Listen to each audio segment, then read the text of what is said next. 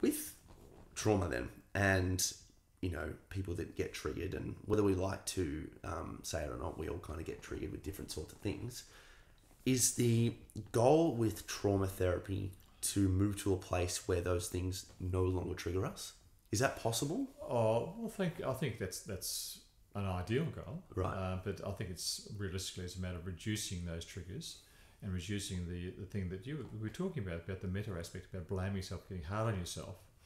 So ironically, it's sort of a bit of a paradox around that. But the more you can sort of say, well, hang on, this is just part of um, the, the the trauma, and this is a, a symptom, and I'll try and reduce them, not not by being down on myself. But that's part of it. People get down on themselves, Yeah. or they get overly scared, saying they're going to be attacked. I've noticed that definitely with yeah. my own experience. Yeah, the yeah, shame so comes. Shame comes very quickly. So, so um, when you can actually move that person around more to a sort of a, a self nourisher, and say, well, that's just part of the symptom, part of the condition. It's like normalising, really. When we say normalising, that's um, that's half the work. Yes. So the next thing is, and when you when they say, well, that's a symptom, the fact that they know it's a symptom, and it's normal. It's a trauma is uh, going back to the DSM free, free definition, a normal reaction to abnormal circumstances. Oh, nice. That's cool. That's right. That's the first one of the first definitions of in the DSMs.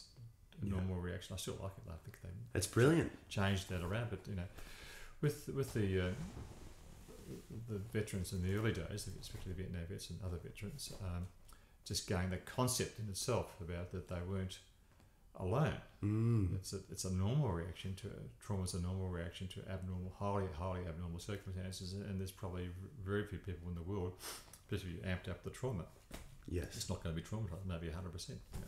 Wow. So, uh, so you know, I mean, I know 70% of the general population would say, hypothetically, in extreme circumstances, he's not going to be traumatized. Yeah, of course. Even. James Bond. I mean, I. He's pretty good, but yeah. Yeah. So, uh, so, and, and, and because because one's traumatized, when one fragments, one isolates, removes from themselves, they feel like, and they face death, that's part of it. Like when you're about to face death or face a horrible emotional obliteration, uh, it's like going, leaving with the world. So, and that that's a that's a very lonely experience. So, but when you realise that other people have the same experiences, that re- that reduces the that loneliness, and you see you have a connection automatically with others who that you don't don't know about. Yep. That are also experiencing that, and uh, that's dramatically uh, healing in the first couple of weeks. I found with a lot of people I work with, especially certain groups rape victims. And Yes, So- definitely, definitely. so, uh, um, so that ties into that, and, and, and the actual triggers. You work on the triggers and identifying them and, and reducing them, Mm. and and so, and it's, it's very very subtle ones too, like going into uh, like JB or something and being triggered. Mm. For- I've had a, a, someone that was actually chased by somebody wearing a balaclava once, an attempt to assault or rape or something. Going into a place like JB, Harvey Norman, uh, what, what would be in there to make them have a panic attack?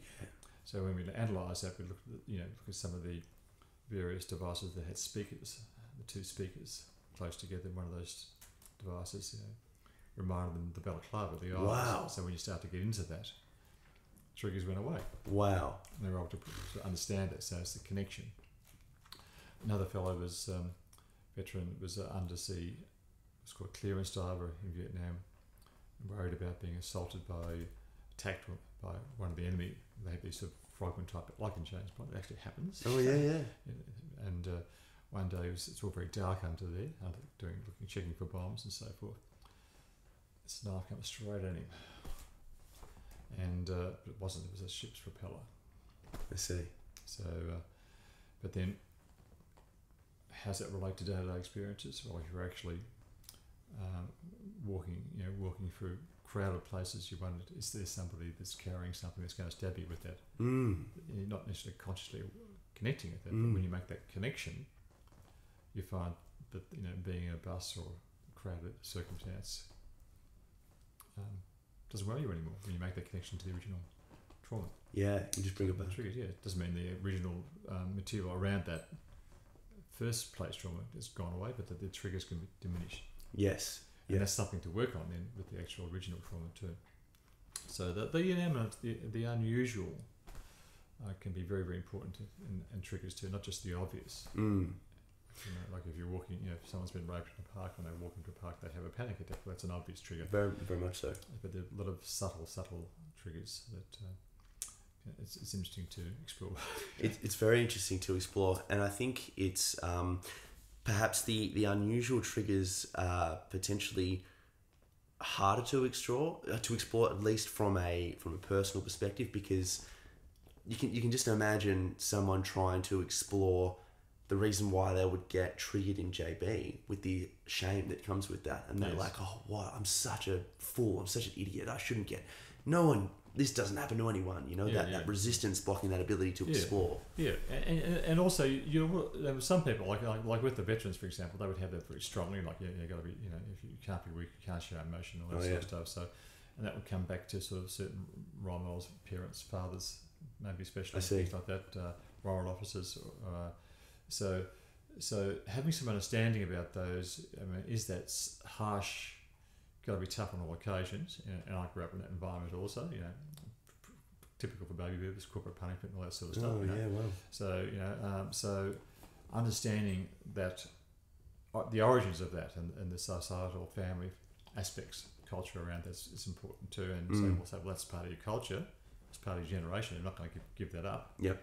Not going to wimp out all of a sudden or something like that, mate. You know, yeah don't come the raw prawn. But Yes. anyway, so uh, so but you don't have to. But the understanding about it, you know, that's maybe okay under normal circumstances. Uh, maybe maybe it's too severe under normal circumstances. Yeah. It's understanding where that message comes from a bit, without giving up on the important aspects of that, which is part of your now identity, is, is also important in you know, that part there too. right And uh, it can then switch more to the relational aspects Yeah. of that message. So that's very important to, to perhaps you know steer gently to the direction yeah you know, if Do- you know, do you if, you know if you know what I mean. You know, Oh, yes. that, that harsh, where's that come from?